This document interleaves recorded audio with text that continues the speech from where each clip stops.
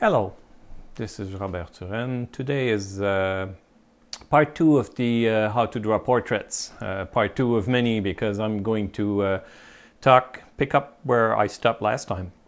Last time we discussed the, uh, the, the, the approach to drawing portrait of the human figure by which we would use a method and use a book and use tricks to use symbols to represent the human, uh, human body or the human head.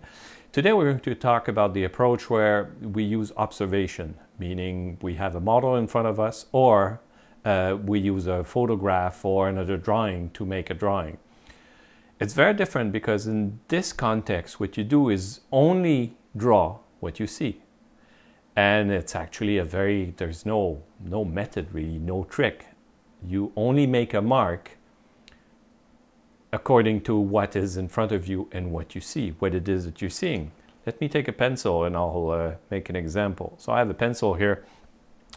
And uh, well, I'm not going to make a portrait. I don't have a model, and uh, well, I don't want to spend too much time on this. I just want to show you what I mean. So basically, I'm going to draw the tip of my uh, my thumb, and I place my thumb in front of me, this thumb here that you see on the little camera.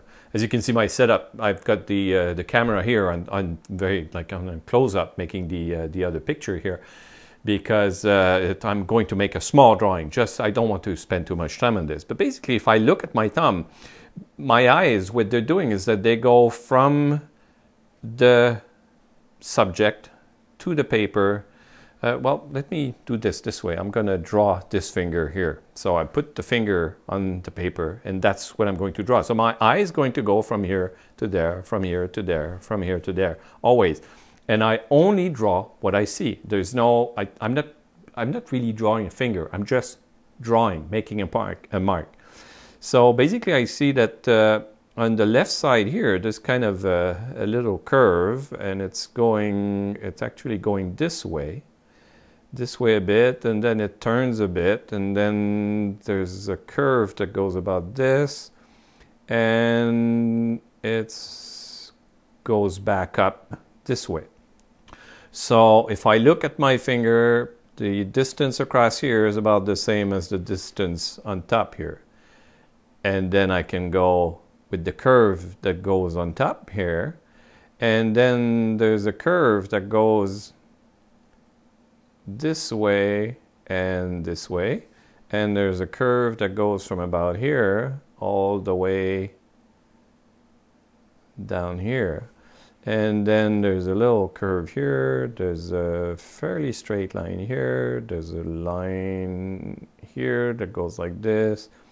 A thicker line that's broken like this in many parts.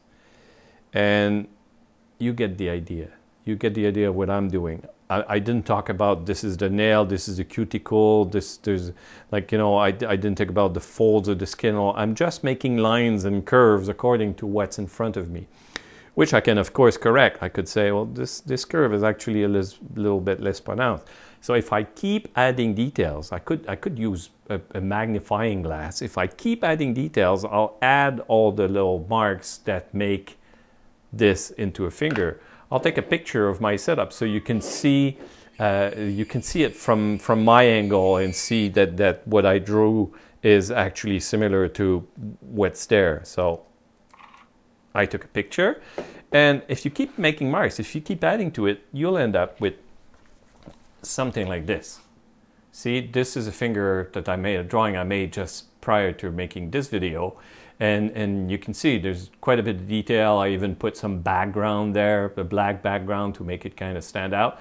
And it's just basically my finger, my finger this way, and and that's the end result. I'll put it here so you can see what it does, and that's it. No trick, no nothing. It looks very easy, but it is difficult to do because we tend to to want to draw what we think is there uh, I see that a lot in people who draw from a picture, from a, a, photograph. They'll imagine details and the shadows and all that that they can't really see, or they're drawing somebody who's quite far away in the picture and they add stuff that they know it's there, but they can't see it. Well, what I'm talking about is only make a drawing of what you see. We'll, we'll come back in, in other talks about, about that when you draw uh, landscape, when you make drawings of, of architecture and all that, when you, you spend your time, especially if you're sketching rapidly, just looking and just making a few marks to, to kind of get what you're doing. There's an excellent book, there's an excellent teacher of that stuff. Her name is Betty Edwards, and her book is very well known. It's called Drawing on the Right Side of the Brain. Betty Edwards, the reference is on the website. And she explains why this works, why it doesn't work, uh, what we can do about it. Uh, and she does it very well. And if you stick to the lessons and the exercises in this book, you'll see what a difference it makes in your drawings in general. And you think you can't draw, well, you can. It's, it's actually quite easy. It just takes concentration uh, and practice. You won't become quick at it. Not, I, I can't say good. You'll be very good, but you won't be quick at it until you get some experience in, in the kind of the, the way you see things as marks that you make on a piece of paper or in a two-dimensional support. So until next time, this is Robert Turenne. You can find references and more videos at uh. The address is at the bottom of the screen.